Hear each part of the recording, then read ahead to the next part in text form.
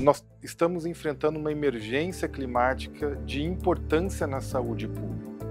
Os próximos passos agora é aumentar a nossa comunicação com toda a população.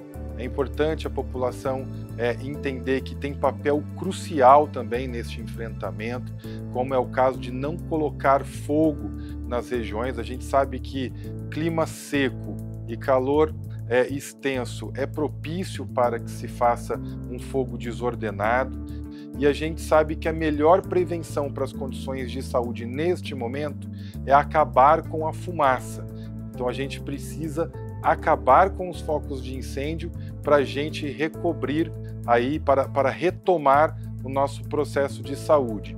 Enquanto isso, a gente vem orientando a população também para se hidratar, é importante que se hidrate, é importante que se proteja ao longo do dia, é importante que nos municípios onde a fumaça é visível, que você permaneça o tempo que for possível dentro da sua casa ou no seu ambiente de trabalho, em ambiente fechado, se possível, é, com climatizador de ar, com filtro é, de ar e umidificador de ar. Essas são as recomendações que a gente faz de imediato com os próximos passos da Força Nacional do SUS e do Ministério da Saúde, é, também fazendo é, aí uma intensificação das suas missões para que a gente possa chegar em cidades onde a gente já tem níveis preocupantes de desassistência em todo o território nacional.